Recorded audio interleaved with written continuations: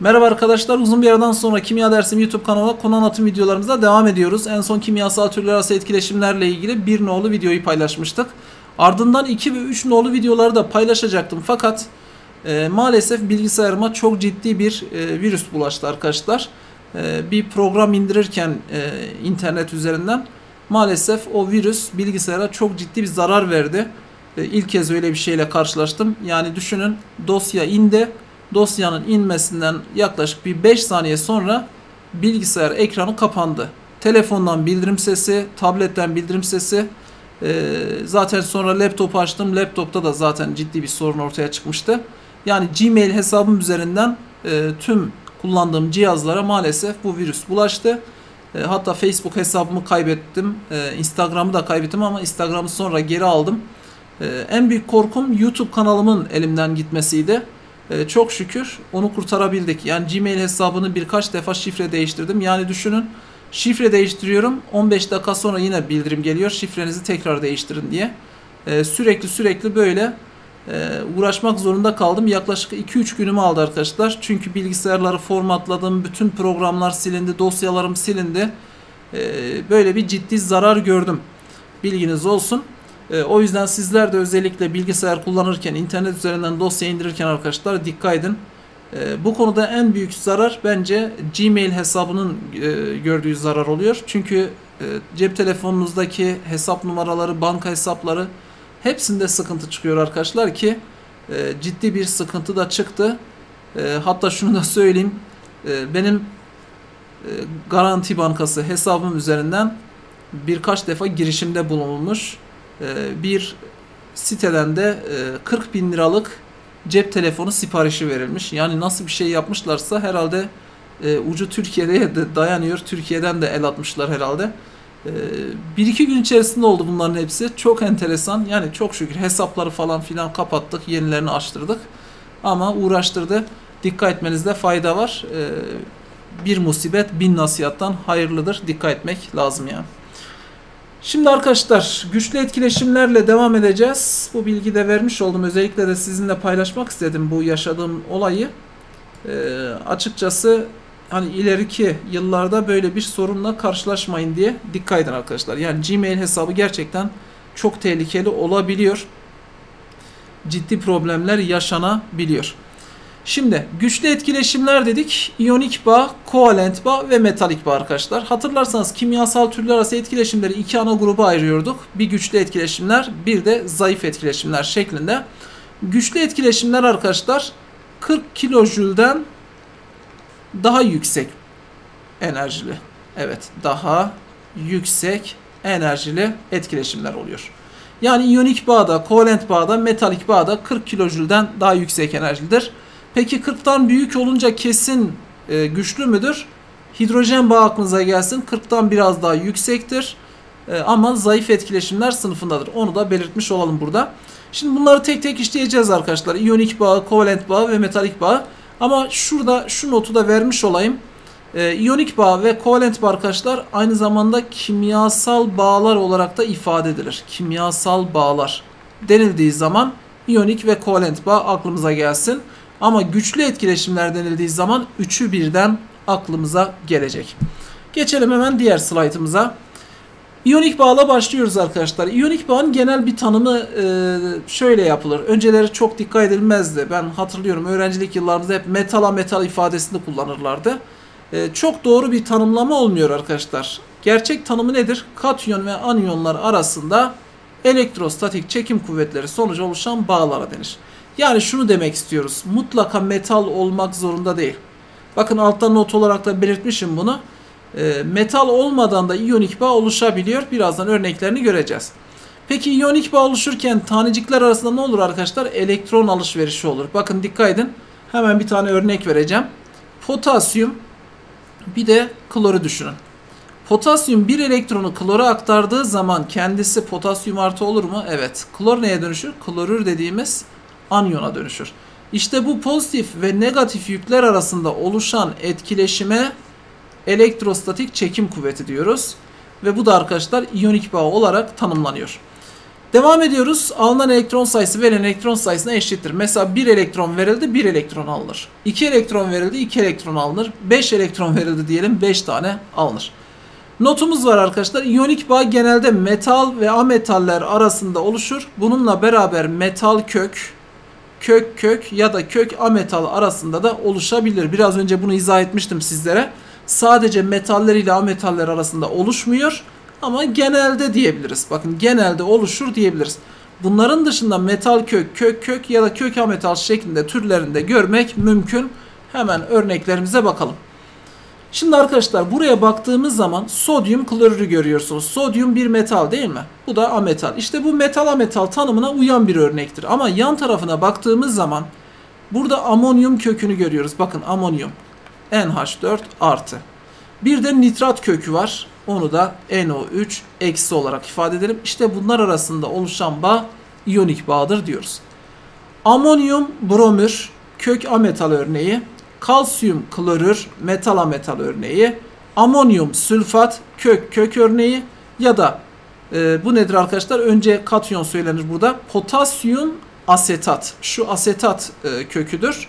Potasyum asetat da kök metal türü bir iyonik bağlı bileşiktir diyebiliriz. Geçelim hemen bir diğer sayfamıza. Şimdi diyor ki arkadaşlar burada iyonik bileşikler tekrarlanan birim hücrelerden oluşan kristal yapılar oluşturur. Yani şöyle düşünün. Şurayı görüyor musunuz? Burada şekil verilmiş. Bir tane yeşil bir de mor mu diyelim? Evet. Yeşil ve mor renkli iki tane top görüyorsunuz. Peki arkadaşlar dikkat edin. Sonra yeşil, mor, yeşil, mor, yeşil, mor diye bu sonsuza kadar böyle tekrarlanabilir. İşte biz bu yapılara ne diyoruz arkadaşlar? Şu küçük yapıya birim hücre diyoruz tekrarlandığı zaman işte iyonik bağlı bileşiklerin oluşumunu görmüş oluyoruz. Kristal yapı diyoruz arkadaşlar buna. Bakın diyor ki oluşan kristal yapıları e, pardon kristal yapılar oluşturur demiş. Sodyum klorür, magnezyum oksit, kalsiyum florür fark etmez. İyonik bağlı bileşiklerin bu tarz e, belirli geometrik şekillerle oluşturdukları kristaller var arkadaşlar. Bu da biraz daha farklı bir şekilde gösterilmiş. Bakın sodyum artılar mor renkli, kloreksler ise yeşil renkle ifade edilmiş. Demek ki birim hücrelerden oluşur dediğimiz zaman bu bağımsız birimlerden oluşur e, ifadesiyle karıştırmayın. Bağımsız birim dediği zaman moleküldür arkadaşlar. Bunlar molekül değil. Bakın unutmayın iyonik bağlı bileşiklerin molekül değildir diyoruz. Sebebi neymiş? Bağımsız birimlerden oluşmaması. Tekrarlanan birimlerden oluşması. Evet. Geçelim hemen bir diğer sayfamıza. İyonik bileşiklerin özelliklerini görüyoruz. Sert ve kırılgan yapıda olduklarından tel ve lev haline getirilemezler. Bir düşünseniz arkadaşlar sofra tuzu. Tabi sofra tuzunu e, örnek vermek yerine biz daha çok neyi örnek verelim? Bazen görüyorsunuz fuarlarda falan e, bu tuzdan yapılmış lambalar falan var. Büyük parçalar halinde. E şimdi oraya arkadaşlar bakın çekiçle vurun toz duman olur değil mi? Ya da mesela başka bir tuz örneği verelim. Bildiğiniz tebeşir, kireç taşı çekişle vurduğunuz zaman ne oluyor arkadaşlar? Dağılıyor değil mi? Toz haline geliyor. Bakın tel ve lev haline getirilemezler demiş. Doğru mu? Doğru. Oda koşullarında katı haldedirler. Erime ve kaynama noktaları yüksektir.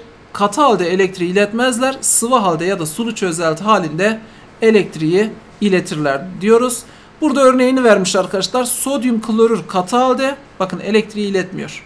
Yani sofra tuzu katı haldeyken elektriği iletmez. Ama sıvı ya da sulu çözelti halinde ise elektriği iletir diyoruz. Çünkü iyonlar serbest hareket edebiliyor arkadaşlar. Bakın serbest hale geldiği için elektriği taşıyabiliyor. Evet geçelim bir diğer sayfamıza hemen. Bir notumuz var. Tanecikler arasında oluşan kimyasal bağlarda bağın karakteri %100 iyonik olamaz demiş. Şimdi arkadaşlar iyonik bağ dedik. Mesela sodyum klorür dedik. Bu bağın içerisinde az da olsa kovalent karakterde oluyor. Bakın %100 iyonik bağ diye bir şey söz konusu değilmiş. Mesela sodyum klorürle altta örnek vermişim. Gerçi orada e, bakalım hemen. Sodyum klorürle potasyum klorürü kıyasladığımız zaman arkadaşlar bakın bunların %100 iyonik olmadığını söyledik. Peki hangisi daha iyonik yani %100'e daha yakın? Ona cevap vereceğiz. Diyor ki elementler arasında elektronegatiflik fark arttıkça bağın iyonik karakteri artarken kovalent karakteri azalır. Neymiş arkadaşlar? elektronegatiflik farka bakacaksınız. Periyodik cetvel konusunu işlediğiniz zaman zaten bunu net bir şekilde öğreniyoruz değil mi? Soldan sağa doğru ve aşağıdan yukarıya doğru elektronegatiflik genelde artar. Peki sodyum klorür değerlerine bakalım. 1.6'ya 3.5. Bu değerleri ezberlemeyin. Sorularda verilir size. E burada potasyumla klora bakıyoruz. Elektronegatiflik değerlerine bakıyoruz. Hangisinde daha büyük fark oluşur? Tabii ki arkadaşlar bakın şu potasyum klorürde daha büyük. Neden? 3.5'tan 1.2'yi çıkarın. Bir de 3.5'tan 1.6'yı çıkarın. Tabii ki burada daha küçük bir değer çıkıyor değil mi? Dolayısıyla iyonik karakter daha yüksek olan kimmiş? Potasyum klorürmüş. Önemli bir bilgidir. Bir daha söylüyorum. Elektronegatiflik farka bakacaksınız. Ne için? İyonik karakteri kıyaslamak için. Elektronegatiflik fark ne kadar büyükse iyonik karakter o kadar fazladır diyoruz arkadaşlar.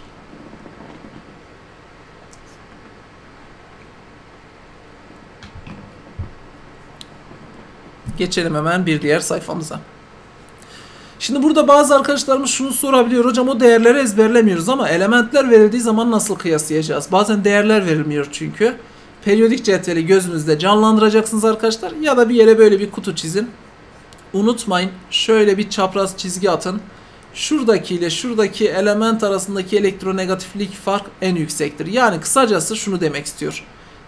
Demek istiyorum diyelim. Şurada örnek vereyim. Mesela X, Y, Z elementleri verildi. Şurada da T olsun. Şurada W olsun.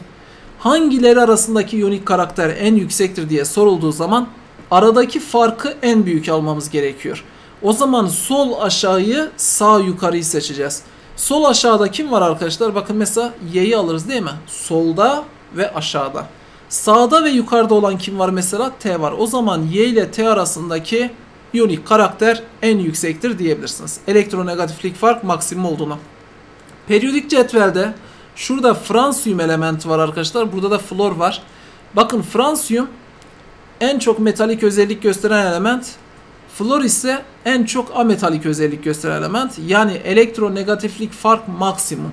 O yüzden ikisi arasındaki iyonik karakterde en üst seviye olacaktır. Geçiyorum bir diğer sayfaya. Diyor ki iyonik bileşiklerin erime ve kaynama noktaları iyonik bağ sağlamlığı ile doğru orantılıdır. Şimdi arkadaşlar burada çok karıştırılan bir kavram var. E, hatta geçen yıl bir videoda diyorum ki burada karıştırılan bir kavram var. Devamında ben karıştırıyorum. O yüzden olabiliyor. Dikkat etmek lazım arkadaşlar. Sınavlarda özellikle. Bakın biraz önce biz neyi öğrendik? İyonik karakter kavramını öğrendik değil mi? Burada neyi öğreniyoruz? İyonik bileşiklerin erime ve kaynama noktaları e, kıyaslamasını öğreneceğiz. Peki bunlar nasıl e, birbirinden ayırt edilir? Bakın şuna dikkat edin. İyonik karakter sorusu gelirse, bakın iyonik karakter sorusu gelirse neye bakacaksınız? Elektron negatiflik farka. Bakın iyonik karakter sorusu gelirse elektron negatiflik farka. Peki erime noktası, kaynama noktası kıyaslaması ya da iyonik bağın sağlamlığı soruluyorsa. Çünkü zaten erime ve kaynama noktası iyonik bağın sağlamlığı ile ilgili. Böyle bir soruyla karşılaşırsanız neye bakacaksınız arkadaşlar? Bakın burada söylemişiz. İyonik bağ sağlamlığı iyonların çapları ile ters, iyon yüklerinin mutlak değerce büyüklüğüyle doğru orantılıdır. Yani çapa ve yüke bakacaksınız. Öncelikle arkadaşlar yüke bakabilirsiniz. Yük daha baskın oluyor genel itibariyle. Eğer yükler eşitse çapa bakarsınız. Bakın hemen örnek vermişiz burada. Magnezyum oksit, kalsiyum oksit. Şimdi baktığımız zaman yük bir işe yarıyor mu? Artı 2, eksi 2, artı 2, eksi 2. Hayır. Yükler eşitken o zaman neye bakmamız gerekiyor? Çapları kıyaslamamız gerekiyor. Kalsiyum ve magnezyumun sorularda arkadaşlar burada yazmamışım ama atom numaraları altlarında yazar. Mutlaka sorunun altında parantez içerisinde belirtilir. Kalsiyum 20'dir, magnezyum 12'dir. Peki periyodik cetveli hatırlayın. İkisi de 2A grubu değil mi? 2 8 2 2 8 8 2. İkisi de 2A grubunda. Peki hangisi daha alt periyotta? Tabii ki kalsiyum atom numarası büyük olduğundan dolayı. Peki aşağıdan pardon yukarıdan aşağıya doğru çap ne oluyordu? Artıyordu. E kalsiyum aşağıda olduğuna göre kalsiyumun çapını büyük çizin, magnezyumun çapını küçük. E çapla erime noktası nedir? Ters orantılıdır. Ya, ya da iyonik bağ sağlamlığı diyelim. E o zaman ne oldu arkadaşlar? Çapı küçük olanı seçeceksiniz. Çünkü ters orantılıdır diyoruz. O zaman magnezyum oksit büyüktür, kalsiyum oksit şeklinde yazabilirsiniz. Hemen yan tarafta bu defa sodyum klorürle alüminyum fosfor var. Bakın e, burada dikkat ederseniz yükler farklı. Yükler farklı olduğu için bakın bir kere bir 1 çarpımlarını alın arkadaşlar. 3 kere 3 9 pozitif olarak. E 9 birden büyük mü? Evet. O zaman alüminyum fosforun e, neyi oldu arkadaşlar? Erime noktası ya da bir başka deyişle iyonik bağ sağlamlığı daha fazla oldu. Geçelim bir diğer slaytımıza. Diyor ki iyonik bileşiklerin formüllerinin yazılması. Şimdi arkadaşlar burada iyonik bileşikleri sıklıkla görüyoruz değil mi? Mesela ben sodyum klorür diyorum ama bunu nasıl yazıyoruz? Ya da mesela neden başkasında kalsiyum klorür burada 2 var? Ya da başka bir örnek magnezyum nitrat diyoruz mesela. Nasıl? NO3 2. E şimdi burada hem 2 var hem parantez var. Şimdi bunları nasıl yazıyoruz? İşte o kurallardan bahsediyor. Diyor ki genellikle önce katyon sonra anyon yazılır. Zaten sonunda neden genellikle dediğimizi açıklayacağım. Genel itibariyle böyle arkadaşlar. Katyonu önce anyonu sonra yazacaksınız. Yani burada yazdığım gibi x artı a önce yazılmış sonra y eksi b. İyon yüklerinin mutlak değerleri çaprazlanarak element sembollerinin sağ alt kısımlarına yazılır. Hatırlayacaksınız bunu arkadaşlar. Çaprazlama kuralı uygulanıyordu. Bakın şuraya A'yı yazacağız. B'yi de getirip buraya yazacağız. Ama işareti kullanmıyoruz arkadaşlar. Mutlak değerce. X, B, Y, A formülünü elde etmiş olduk. Bakın mesela bir tane örnek veriyorum. Kalsiyum 2 artı bir de kim olsun? Azot 3 eksi olsun. Bakın şu 2'yi şuraya kaydırıyorsunuz. Şu 3'ü de buraya. O zaman ne olur? Kalsiyum 3 azot burada ne olacak arkadaşlar? 2. Yani kalsiyum nitrür şeklinde bir bileşik oluşmuş oldu. Çaprazlama dediğimiz olay bu. İyon yükleri sadeleştirilebiliyorsa sadeleştirilir. Bunu da hemen şöyle söyleyeyim arkadaşlar. Kalsiyum 2 artı var mesela. E bir de oksijen 2 eksi var. Şimdi ben bunu yazarken ne yapacağım? 2 ile 2 sadeleşir mi? Evet. İkisi birbirini götürür. Doğrudan kalsiyum oksit diye yazabilirsiniz. Bakın burada da öyle belirtilmiş. Geçelim bir diğer sayfa. Bileşikte kök bulunacaksa çaprazlanan sayı parantez dışına yazılmalıdır demiş arkadaşlar. Bakın şurada kök var. Ee, biraz önce belirttim aslında. Ne dedim? Bakın mesela burada kök var. Neden kök gelmiş? Pardon e, parantez var kökün dışında. Paranteze vurgu yapacağım burada. Neden parantez kullanmış? Ondan bahsediyoruz şimdi. E, dikkat edin arkadaşlar. Magnezyum yazıldı mı? Tamam. 2'yi çaprazlarken mesela parantez kullanmasak şu 2'yi buraya yazsak e ne oldu? 32 oldu birbirine karıştı değil mi? Aynı zamanda bu 32 tane oksijen demektir. E, azotun ne günahı var? Sonuçta çaprazlama ona da etki etmeli. O yüzden parantez açılıyor. Buraya 2 yazılıyor. Bakın çaprazlama yine aynı şekilde uygulandı. Ama kök bulunduğundan dolayı ve yazacağımız sayının kökün içerisinde bulunan tüm elementleri etkilemesi gerektiğinden dolayı parantez açıp dışına 2 yazıyoruz arkadaşlar. Ve o belirttiğimiz not geldi. Hani dedik ya önce katyon sonra anyon yazılır. Bazen istisnalar da olabiliyor. Asetat gibi köklerde oluşan bileşiklerde önce anyon sonra katyon yazılıyor. Bakın o belirttiğimiz özelliğin tam tersi. Asetata dikkat edin arkadaşlar. Sodyum sonda. Sodyum asetat okurken yine sodyum önce söylüyoruz ama yazılma şekline baktığımız zaman önce anyon sonra katyon yazılmış. Yine burada arkadaşlar bakın form, e, format görüyoruz. Formik asitten gelen bir kökümüz. E, potasyum format. E, ne oldu yine? Önce anyon yazılmış sonra katyon yazılmış ama okurken dediğim gibi önce potasyum diyoruz sonra format şeklinde isimlendirme yapıyoruz. Diyor ki burada arkadaşlar iyonik bağlı bileşikler suda iyonlaşarak ayrışırlar. Bu nedenle sulu çözeltileri elektrolittir. Evet iyonik bağlı bileşikler suda iyonlaşarak ayrışırlar. Bu nedenle sulu çözeltiler elektrolittir. Kalsiyum klorürü suyun içerisine atmışız. Bakın kalsiyum ve klorür iyonlarını oluşturmuş değil mi? E, sulu çözeltiler ne oluyor o zaman? Elektrik akımını iletmiş oluyor. Potasyum iyodür. Potasyum artı ve iyot eksi şeklinde iyonlaşmış. Ya da magnezyum nitrat, magnezyum 2 artı 2 nitrat şeklinde ifade edilmiştir diyoruz. Bu arada parantez içinde bir bilgi vermişim. Ona da dikkat edelim arkadaşlar e, metallerin elektriği iletmesi fiziksel bir olaydır. Bakın bakır tel yıllarca elektriği iletiyor. Yapısında bir değişme meydana geliyor mu? Hayır. 20 yıl sonra binayı çıkarıyorsun içinde bakır tel aynı şekilde duruyor. Fiziksel bir iletim var. Ama çözeltilerin elektriği iletmesi kimyasaldır. Unutmayın o yüzden buradaki iyonların elektriği iletmesi kimyasal olarak aklımıza gelsin. Şimdi iyonik bileşiklerin Lewis yapısı nasıl yazılır arkadaşlar? Bakın sodyum klorürü görüyorsunuz. Normal elektron dizilişlerini yapın. Elektron dizilişlerini yaptıktan sonra değerlik elektron sayısı kaç? 1. Bunun kaç? 7. Bakın Lewis yapılarını yazarken hatırlayın ilk konuya giriş yaparken değerlik elektron sayıları element sembolü çevresinde noktalarla gösterilir demiştik. Gösterdik mi? Evet. Bakın sodyumun 1, klorun 7 e, tane değerlik elektron var. Peki ne olmuş? Şuradaki elektron buraya aktarılmış. Hatırlayın iyonik bir oluşurken elektron alışverişi oluyordu. O zaman buradan buraya bir geçiş oldu. Peki şuradaki elektron da buraya gelirse e, sodyum kendisi neye dönüştü? Sodyum artıya değil mi? Bakın klor da çevresindeki elektron sayısını 8'e tamamladı. Yani oktet yapısına dönüştü. Peki oktet yapısına dönüşünce üzerine de eksi koyduk mu? Sonra ikisini birleştiriyorsunuz. Sodyum klorür diye. Bakın çok zor değil aslında. Birazcık dikkat edeceğiz. Bol bol örnek soru çözeceğiz arkadaşlar. İyice pekişsin diye. Evet.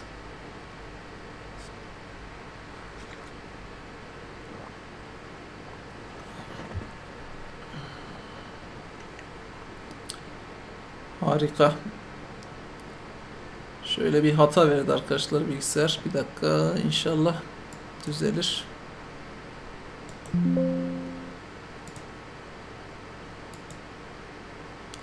Siz şu anda göremiyorsunuz ama pencereler açıldı. Şöyle düzeldi herhalde. İnşallah kalem düzgün çalışıyordur. Heh, iyi. Yok. Görüyorsunuz değil mi arkadaşlar? Kalem ne hale geldi. O yüzden e, şu programı kapatıp tekrar açacağım arkadaşlar. Şimdi birazcık zamanımızı alacak ama yapacak bir şey yok. Kusura bakmayasınız. Şu programı kapatacağım. Tekrar açınca düzelecek. Program öyle bir hata veriyor. Evet şu an için açmama izin de vermedi.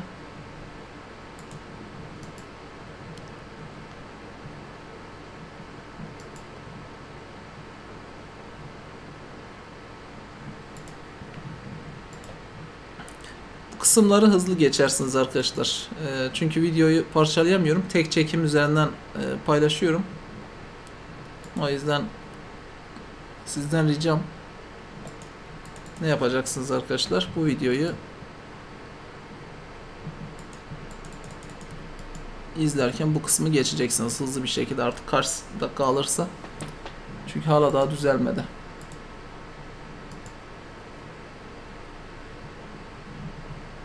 Yenile diyeceğim de yenileme de yapmıyor.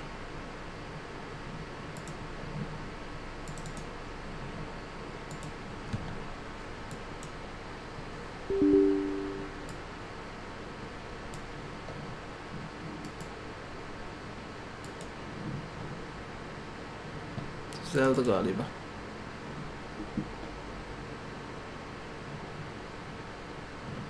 Evet, program tekrardan açıldı. Dediğim gibi sizler bu kısmı geçin arkadaşlar. Zaten biliyorsunuz böyle. Şimdi bazı arkadaşlar giriyor. Hocam diyor işte videoyu açtım şöyle bir sorun vardı falan filan. Ya arkadaşlar yani parmak hareketiyle videoyu ileri saracaksınız yani zor bir şey değil. Yani bize de biraz hani bakın gece kaç biliyor musunuz? Şu anda video çekiyorum. Yani sırf bu videoyu yarın çekemeyeceğim için bugün bakın tam saat 12. 12'ye 5 var daha doğrusu. Şimdi bakalım. Kovalent bağ mı gelmiştik? Bu sayfaya mı geldik daha öncesinde? Ne vardı? Heh. Bir alttaki örneği hemen izah edeyim sizlere arkadaşlar. Şurada magnezyum florürü görüyorsunuz. Magnezyum florür. E, magnezyum atom numarası 12. 282. Bakın elektron dizilişini yapmışım. Flor 9 olduğu için 27. Değerlik elektronlarını bakın hemen yanlarına noktalarla gösterdik. Yalnız burada dikkat etmeniz gereken bir olay var. Magnezyum 2 elektron veriyor. Flor 1 elektron alabiliyor. O yüzden 2 tane flor olması lazım. Bakın bir daha söylüyorum. Magnezyum 2 elektron veriyor. Flor 1 tane alabiliyor. O zaman 2 flor olmalı ki o gelen 2 elektronu karşılayabilsin. Dolayısıyla bir magnezyum iki tane florla birleşiyor arkadaşlar. Magnezyumun kendisi 2 elektron verdiği için artı 2 oluyor. Flor ise aldığı için eksi 1 ama 2 tane olduğunu bir daha hatırlatıyorum. Magnezyum artı 2, 2 flor eksi diye yazabilirsiniz. Şimdi bu doğru bir gösterim arkadaşlar. Şu alttaki de doğru bir gösterim. Yani sorularda ikisine de doğrudur diyebilirsiniz gösterim olarak. Geçelim bir diğer sayfamıza. Kovalent bağa geldik. Ametal atomları arasında elektron ortaklaşması sonucu oluşan bağ denir diyor bakın. Ametal atomları arasında elektron ortaklaşması sonucu oluşan bağ denir. Yani bir X atomuyla bir tane X atomu ya da bir X atomuyla arkadaşlar bir tane Y atomu birleşebilir. Buradan şunu anlıyoruz. Ametal atomları aynı türde olabilir, farklı türde de olabilir. Diyor ki aynı ametal atomlar arasında oluşuyor ise yani şuradaki gibi apolar yani kutupsuz kovalent bağ eğer farklı ametal atomlar arasında kovalent bağ oluşuyorsa arkadaşlar bu defa polar yani kutuplu kovalent bağ ismi verilir. Altta örnekleri vermişim. Bakın hidrojen gazı H2 diye yazıyoruz değil mi? Apolardır. Bağdan bahsediyorum yalnız. Dikkat edin. Birazdan zaten o ayrıntıya da gireceğim. Ee, bağın polarlığı ayrıdır. Molekülün polarlığı ayrıdır arkadaşlar. Biz şu anda bağdan bahsediyoruz. En çok karıştırılan yerlerden bir tanesi burası. Burada flor gazını görüyoruz. Bakın görüyor musunuz? Yine apolar. Azotlar yine apolar. Çünkü aynı atomlar arasında oluşan kovalent bağ biz apolar kovalent bağ diyoruz. Peki atomlar birbirinden farklıysa arkadaşlar o zaman polar oluyor. Bakın karbon ile flor, azot ile oksijen, hidrojen ile flor. Farklı atomlar arasındaysa polar kovalent bağ, aynı metal atomlar arasında oluşuyorsa apolar kovalent bağ diyebiliriz. Peki kovalent bağın özellikleri nelerdir? Oda koşullarında katı, sıvı ya da gaz halinde bulunabilirler. Erime ve kaynama noktaları genelde düşüktür. Bakın iyonik bağlı olanların genelde yüksekti. Bunlar genelde düşük. Ha kovalent bağlı olup çok yüksek olanlar da var. Mesela en basitten bir örnek. Elmas ve grafit arkadaşlar. Kalem ucunuz bakın serttir değil mi? Bir de elması düşünün. Evrendeki en sert madde doğal madde olarak ifade ediliyor. Erime ve kaynama noktaları genelde düşüktür. Birbirinden bağımsız birimler olan moleküllerden oluşur. Hatırlayın iyonik bağ tekrarlanan birimlerden oluşuyordu. Burada bağımsız birim diyoruz. Yani H2O yazarken arkadaşlar şu bağımsız bir birim oluyor. Yani tekrarlanan bir durum yok. Hidrojen, oksijen, hidrojen, oksijen, hidrojen, oksijen diye gitmiyor. Ama iyonik bağda gidiyordu değil mi? Katı ve sıvı halde elektriği iletmezler. Suda moleküler çözünenlerin yani CH3OH, C2H5OH yani metil alkol, etil alkol ya da işte C6H12O6 glikoz falan e, elektriği iletmezken suda iyonlaşma evet iyon oluşumuna sebep olan moleküllerin yani hidrojen klorür, amonyak, kükürt dioksit gibi asit ve bazları örnek vermiş arkadaşlar. Bunlar suyun içerisine atıldığı zaman hani H artı ve Cl eksi oluşur diyoruz ya ya da amonyağı suyun içerisine attığınız zaman amonyum oluşuyor artı OH eksi oluşuyor. Sonuçta iyon var mı? Var. İyon oluşumuna sebebiyet verdiklerinden dolayı arkadaşlar bunların sulu çözeltileri elektrolittir diyoruz. Şimdi hatırlarsanız iyonik bağda %100 iyonik bağ yoktur demiştik ama %100 kovalent bağ olabiliyor arkadaşlar. Aynı ametal atomları arasında oluşan kovalent bağ %100 kovalent karakterlidir. Çünkü elektronlar tam ortada kalıyor. İki atom birbiriyle özdeş olunca elektron çekme güçleri eşit oluyor. O yüzden %100 kovalent bağdır diyoruz. Florlar arasında ya da klorlar arasında. Ametal atomları arasındaki elektronegatiflik fark arttıkça bağın kovalent karakteri azalır demiş arkadaşlar. Hatırlayın yine iyonik bağ e, bir hatırlatma yapalım. İyonik bağda ne demiştim? Elektronegatiflik fark arttıkça iyonik bağın karakteri artıyordu değil mi? Burada ne diyor? Elektronegatiflik fark arttıkça Aa, bakın burada hata yapmışız. Hata yapmışız. Şurayı düzeltiyorum arkadaşlar. Azaldıkça bakın dikkatsizlikten yanlış kullanıyorduk ifadeyi. Yok doğru kullanmışım. Düzeltiyorum arkadaşlar. Sondaki ifadeyi şimdi gördüm. Ne demişiz? Elektronegatiflik fark arttıkça bağın kovalent karakteri azalır. Ben artar diye okudum. O zaman karakter azalıyorsa arkadaşlar elektronegatiflik fark arttıkça ne artıyor? İyonik bağın karakteri artıyor değil mi? Bakın dikkat edin hidrojen florür kovalent karakteri en düşük olan. O zaman bunun iyonik karakteri daha yüksek. Mesela bu %70 kovalent ise %30 iyoniktir. Şu hidrojen klorür Bunun kovalent karakteri biraz daha fazla. Mesela %80 kovalentleri %20 mesela iyoniktir. Ya da %90'a %10 falan diyebilirsiniz. Burada değerleri yazabilirsiniz. Bakın yine elektronegatiflik fark değerleri verilmiş. Daha doğrusu değerleri verilmiş. Aradaki farkları siz alacaksınız. Mesela nasıl yapacaksınız? Hidrojenle flor arasındaki fark kaç arkadaşlar? 4'ten 2.1'i çıkarın. Bakın 1.9. Gördünüz mü?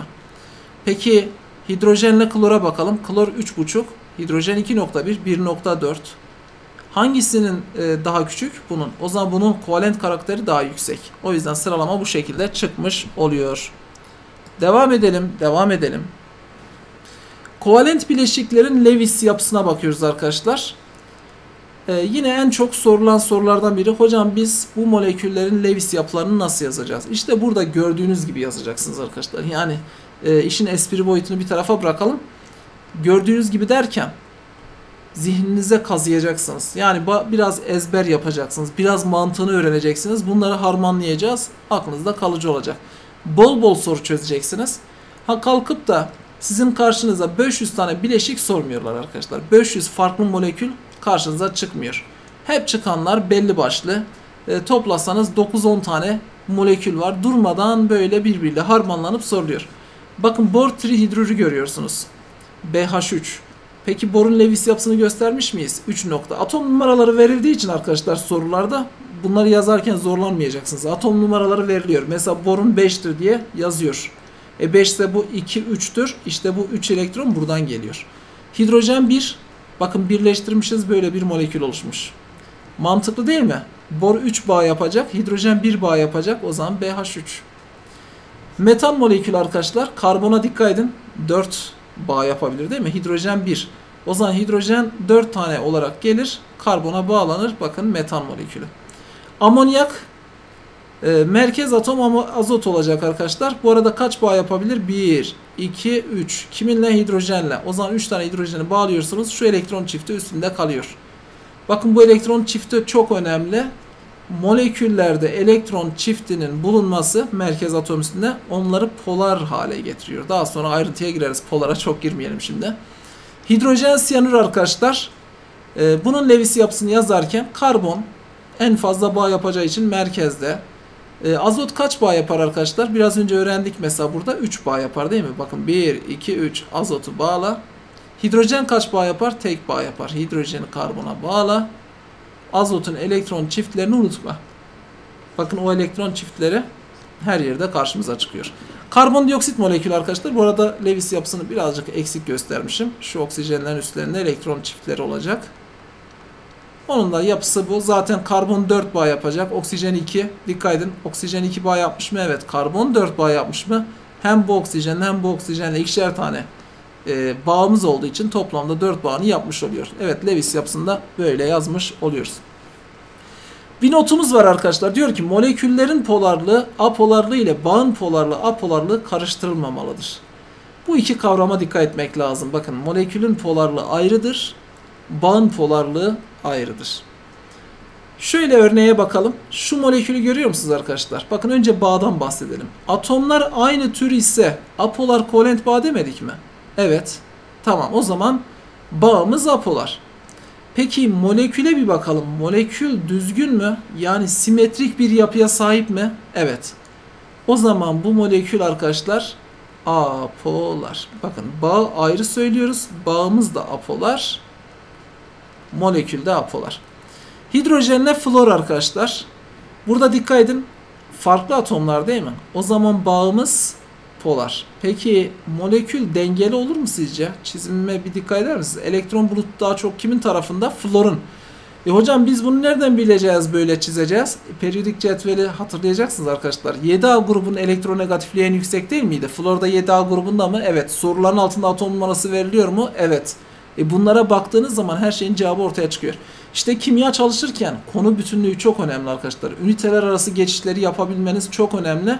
O yüzden basit konu, zor konu diye bir şey yok. Bunlar hepsi iç içe girdiği zaman e, çok ciddi manada sizi zorlayabilir. O yüzden siz kaliteli bir şekilde mantığını öğrenerek dersinizi çalışacaksınız arkadaşlar. Metan molekülüne baktığımız zaman işte burası önemli. Bakın atomlar farklı değil mi? Farklı olduğu için bağımız ne olur? Polar olur. Peki molekül sizce dağınık mı? Bence çok simetrik değil mi? Hidrojen karşısında hidrojen, hidrojen karşısında. O zaman molekül ne oldu? Apolar. Demek ki bağlar polar olurken molekülün kendisi apolar olabiliyor değil mi? Ee, burada bunlara dikkat edeceğiz. Geçelim. Sorumuz mu geldi? O sorular geldi çok güzel. Birkaç tane de soru çözelim. Bu videomuzu tamamlayalım. Diyor ki magnezyum ile oksijen elementleri arasında oluşan kararlı magnezyum oksit bileşiğinin Lewis yapısını gösteriniz. Yazalım arkadaşlar. Magnezyum. Atom numarası kaç? 12. Bakın ne yapıyorum. 2, 8, 2. Yazdık mı? Yazdık. Değerlik elektron sayısı kaç? 2. Magnezyum 1, 2. Oksijene bakalım şimdi. 6, 2, 4.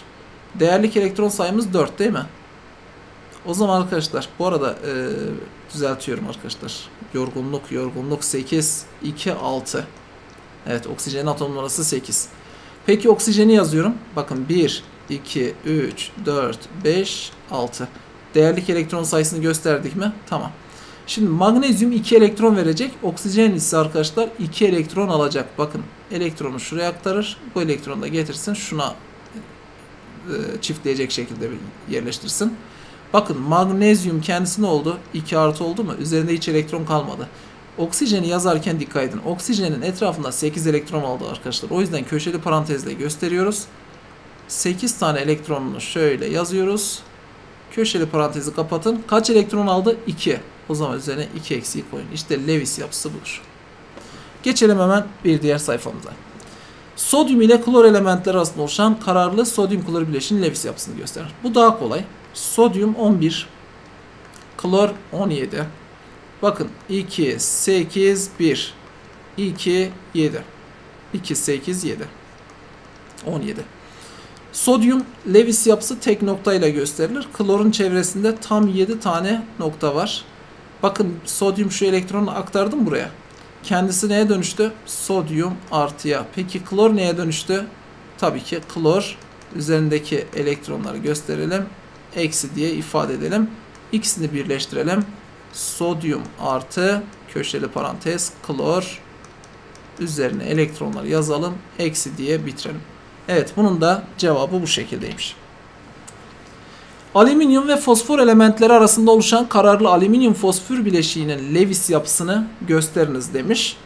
Şimdi arkadaşlar alüminyum fosforu yazalım. Alüminyum atom numarası 13. Fosfor kaç? 15. Hemen şuraya 2, 8, 3 diye yazıyorum. Şuraya 2, 8, 5 diye yazıyorum.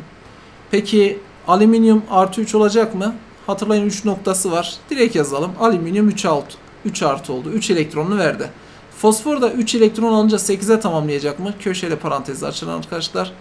Fosfor bakın biri 3 elektron veriyor, biri de 3 elektron alıyor. O yüzden sorun yok. Fosforu yazdık. Şöyle 8'e tamamlamış oldu. 5'ti. 8 yaptı. İkisini birleştirin. Alüminyum 3 artı köşeli parantez fosfor elektronlarını gösteriyorsunuz. 3 eksi diye yazıyorsunuz. Evet burada bir sıkıntı yok arkadaşlar. Bunu da böyle yazmış olduk. Lewis yapıları bu şekilde ifade ediliyor. Evet. Şimdi geçelim. Bunu da çözüp bitirelim arkadaşlar. Videomuz çok uzadı zaten. 40 dakikayı buldu. Ee, burada bitireceğim. İkinci periyot elementi oldukları bilinen X ve Y elementleri arasında oluşan kararlı bileşin Lewis yapısı gösterilmiş. Şimdi arkadaşlar X bir elektron vermiş, Y de bir elektron almış. Biraz önceki örnekleri hatırlarsanız Y 1 alınca 8'e tamamladığına göre demek ki değerlik elektron sayısı kaç Y'nin? 7. Kaçıncı periyot? 2. O zaman X'in değerlik elektron sayısı kaç? 1. 1 elektron verdiği için. O zaman X'i şöyle yazalım arkadaşlar. X bakın 2 tane periyot olacak. Yani 2 tane yörünge Şuraya 2 değil buraya da 1. Bu x element. Y'yi de yazalım. Bakın 1 alınca 8 oldu ya arkadaşlar. Öncesinde 7'ymiş. E peki ikinci periyotsa o zaman bu da böyle 2, 7 diye yazabilir miyim? Bakın kim oldukları ortaya çıktı aslında. Buna göre bileşik ve bileşikteki iyonlarla ilgili Y taneciği oktedini tamamlamıştır diyor. Y'nin çevresinde 8 elektron oluştu mu arkadaşlar? Evet oktedini tamamladı. Peki Y ikinci periyot 7A grubu elementidir. Bakın ikinci periyot olduğunu görüyoruz. 7A grubu olduğunu da görüyor muyuz? Evet. X elementin proton sayısı 3'tür. Zaten burada 3 elektronu varsa 3 tane de protonu vardır. Doğru mu? Doğru. Normalde birkaç soru daha vardı arkadaşlar. Ama inanır mısınız çok yoruldum. Yani e, zaten gecenin geç saatleri. O yüzden bu videoyu burada bitireceğim. 40 dakikalık bir video oldu.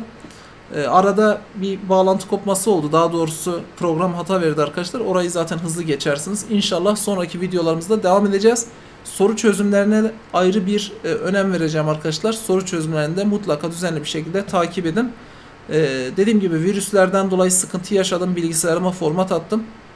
Palme yayınlarına da inşallah hemen e, önümüzdeki 1-2 gün içerisinde başlayacağım. Bilginiz olsun. Allah'a emanet olun.